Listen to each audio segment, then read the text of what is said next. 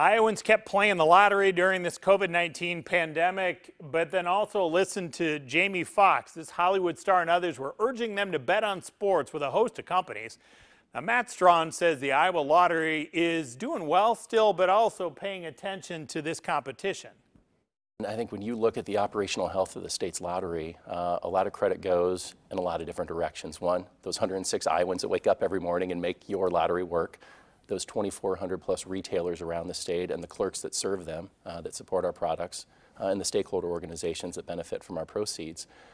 We have been, when you look at our sales, uh, it has been remarkable uh, to see how Iowans turned to lottery products uh, during the onset of COVID, for example, when there were very limited entertainment options. Nobody was going to ball games, uh, people weren't going to movies, there were no concerts.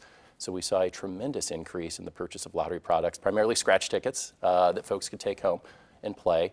Uh, but going and last year was a record, right? Last year was a record year. So we sold uh, roughly $452 million uh, in lottery products in fiscal year 21. That's about a 20 plus percent increase year over year. Uh, real dollars, that means 101.7 million back to the people of Iowa. We've been able to maintain that pace through the first seven months of the current fiscal year, but getting to uh, perhaps some of those challenges uh, on the horizon. Uh, you mentioned increasing competition uh, for the entertainment dollar, specifically sports betting. Heck, there's probably going to be a sports betting ad on after this segment, uh, given the, the increase in marketing uh, that we've seen from Huge that. Huge money oh. behind these in these companies, right? No, there's no question. Uh, and I give a lot of credit to our team uh, for at least seeing that coming so we can remain nimble and offer prizes and remain relevant to players. Uh, but also, you know, we don't have a Jamie Foxx. You know, we don't have the Manning brothers uh, to put in our advertising. You know, we're the little old Iowa lottery, so we need to. But that's the market that we need to compete in. Um, so I think is, you know, we're still assessing uh, what the ultimate impact of that is, but uh, but clearly uh, that's a challenge for us. And externally, we're no different uh, than any other business or household when it comes to things like inflation. Uh, our operational costs are increasing as we have, you know, we have three dozen Iowans that are in cars and vans every day servicing those retailers. Now, we don't pass our costs on. There's not a $2.05 Powerball ticket or, you know, a $5.25 scratch ticket. So, you know, we're going to see some, some challenges with our margins. But even more importantly, on the inflation side, you know, we have concerns for what all households are going through. Uh, when you look at where our tickets are sold, it's where you buy your groceries, it's where you fill up your car. The costs of both of those are going out, uh, going up uh, for everyone. So that entertainment discretionary budgets are getting, all Iowans are getting a little thinner. Uh, so we need to, to be able to continue responsibly raising revenue for the state. Uh, those are some of the external challenges that we're navigating. I'm sorry, that was a terribly long answer to your short question. Not, a, not, at all. That's the purpose of this show yeah. here. So when you start looking at the numbers, roughly speaking, the sports betting in our state will have, if you mess with the numbers here a little bit, in two months' time, the revenue for that is more than you all bring in in an entire year, roughly speaking. Yeah, gross gross uh, revenue, gross not revenue, net to the state. Exactly. Yeah. So as you kind of look at this, are, are the customers different?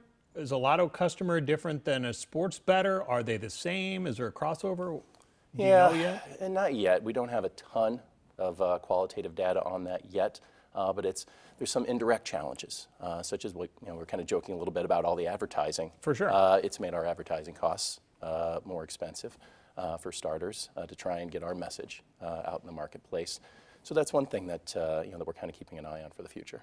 But is there is there room for optimism in the sense that it was a record year for you last year? Yeah, there. Well, despite this new competition. Yeah, there is, and I think our challenge as a lottery is to continue to be innovative and nimble and relevant uh, to Iowans. Uh, a good example would be the way we're approaching prizes. Uh, for example, we need to we need to compete. And one thing that we did this past year, uh, we loaded a bunch of Iowa State fans uh, up on an airplane, took them to Vegas to watch the Cyclones. Large prizes like that that perhaps the lottery didn't have to do. That's uh, something past. from a Hawkeye here. I, right? I know, right? So, uh, so yeah, we make sure there's some lottery experiences at Kinnick Stadium uh, as well, Dave.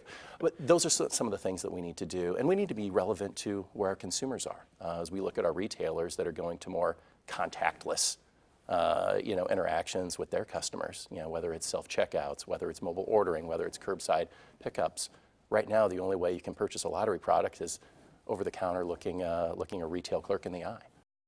Now, Iowa Republicans are betting that this November will be a winner. Coming up next, the money concerns about the Democratic candidates.